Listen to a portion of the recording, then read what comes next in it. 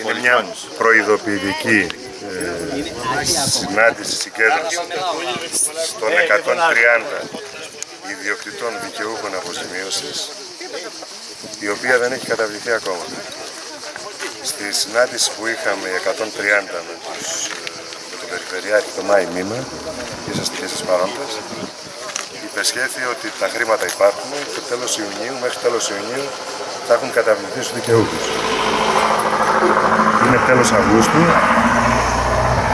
κανείς μας δεν έχει πάρει ούτε ευρώ και πλέον ε, ο εργολάβος έχει κατασταθεί. Είμαστε αποφασισμένοι να διεκδικήσουμε το δίκαιο αίτημά μας, δηλαδή την καταβολή των χρημάτων της αποζημίωσης, όπως ενημερώθηκε ο κύριος Περιφερειάρχης στη συνάντηση που είχε μαζί μας το Μάιο μήνα.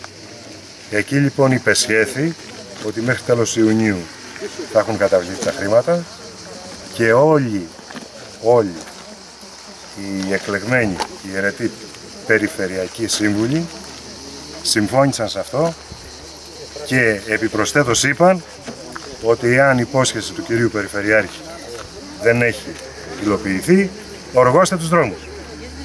Δεν θέλουμε να, το δρόμο. Δεν θέλουμε να φτάσουμε σε αυτό το σημείο. Θέλουμε να γίνει το έργο, θέλουμε να πάρουμε τα χρήματά μας και όλα να πάνε καλά. Όμως,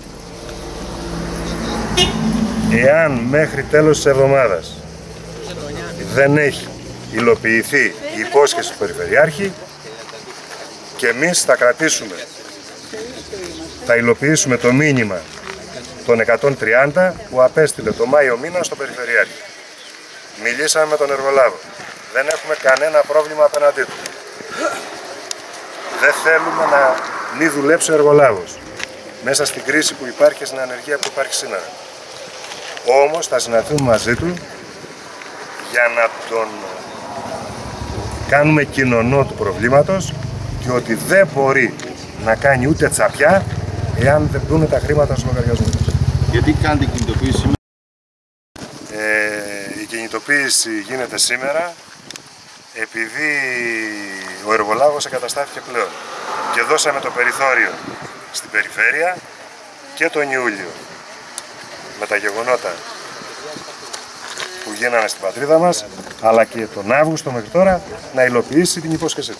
Ε, επιπλέον ένα στοιχείο που θέλω να επισημάνω είναι το γεγονός ότι τα χρήματα αυτών οι οποίοι πήραν το 60% δηλαδή το 40% έχει κατατεθεί στο Ταμείο Παρακαταρκτικών και Δανείων. Και οι 130 που είμαστε εμείς που απαρτίζουμε αυτή τη συγκέντρωση δεν έχουν λάβει ούτε ένα ευρώ και μας περιπέζουν τόσο πολύ που μας εξαναγκάζουν να προβούμε σε ενέργειες τις οποίες δεν θέλουμε. Το τι θα κάνουμε από εδώ και πέρα θα το αποφασίσουμε εμείς και θα το υλοποιήσουμε. Πάντως είστε αποφασισμένοι να μην αφήσετε να προχωρήσει το έργο αν δεν ε, καταβληθούν χρήματα στο λογαριασμό. Μα όχι, ε, έχουμε, ε, όπως είπε και ο συνάδελφος Πολυχρόνης, ο Γιώπλος, δεν είναι δυνατόν 9 χρόνια να παίρνουμε μια, ένα ευρώ από το κτίριο του μας και την έκθεση την οποία μας έχουν ε, δίθεν απολυτριώσει. Θα, θα κάνουμε ό,τι είναι δυνατόν μέσα στα πλαίσια της νομιμότητας. Είμαι ιδιοκτήτης και εγώ του δρόμου. Σε αυτό το δρόμο που βλέπετε που είναι τα καλάμια, είναι κομμένο το χωράφι στη μέση, 150 ρίζες στυλές. Ε, περιμένουμε. Το δικό σου χωράφι δεν είναι κομμένο ήδη. Είναι ήδη κομμένο με άσφαλτο, όπως το βλέπετε. Και περιμένουμε να πληρωθούμε. Οι υποσχέσεις πάρα πολλές, μας έχουν υποσχεθεί ότι θα πάρουμε τα χρήματά μας. Δεν υπάρχει αποτέλεσμα κανένα όλο αυτόν τον καιρό. Ε, είμαστε αποφασισμένοι εννοείται ότι δεν θα περάσει κανείς να τελειώσει δρόμο αν δεν πληρωθούμε. Αυτό είναι αυτονόητο. Ε, και περιμένουμε. Νιώθετε ότι έχετε εξαπατηθεί. Και βέβαια έχουμε εξαπατηθεί. Βέβαια. Ε, κατεβαίνουν κατά διαστήματα από την περιφέρεια και μας διαβεβαιώνουν ότι το χρήματά μας θα τα πάρουμε τέλος του μήνα. Ό,τι ακούσατε, ο κ. Στατούλης είπε στην βιβλιοθήκη ότι μέχρι τέλος Ιουνίου θα πάρουμε τα χρήματά μας. Με το Δήμο έχετε κάποια επαφή; Ο Δήμος, ε, προσωπικά εγώ όχι, αλλά οι άνθρωποι που εμπλεκόμαστε σε όλο αυτό είναι δίπλα μας, μας στηρίζει σε σε ό,τι αποφάσεις. Πώς; Πώς. Ναι. Τα λόγια φυσικά. Δεν υπάρχουν λόγια και έργα. καμία ενέργεια. Δεν υπάρχουν Έλατε να έργα. μιλήσεις. Δεν υπάρχουν έργα.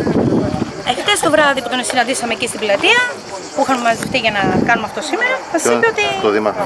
Ναι. Κάποιο κυρία από την ομάδα μας πήγε και μίλησε και είπε ότι αύριο ίσως μπουν τα χρήματα στο λογαριασμό μα. Αυτό σας το υποσχέθηκε ο Δήμαρχος. Αυτό είπε ο Δημήτρης. Για σήμερα δηλαδή. Ναι, ίσως. Αύριο θα στείλουν τα χρήματα. Αυτό έχουμε συνέχεια εδώ και πάρα πολλούς μήνες. Χρόνια ίσως. 9 χρόνια που είναι κομμένες οι ελιές. Ωραία. Είστε καλά.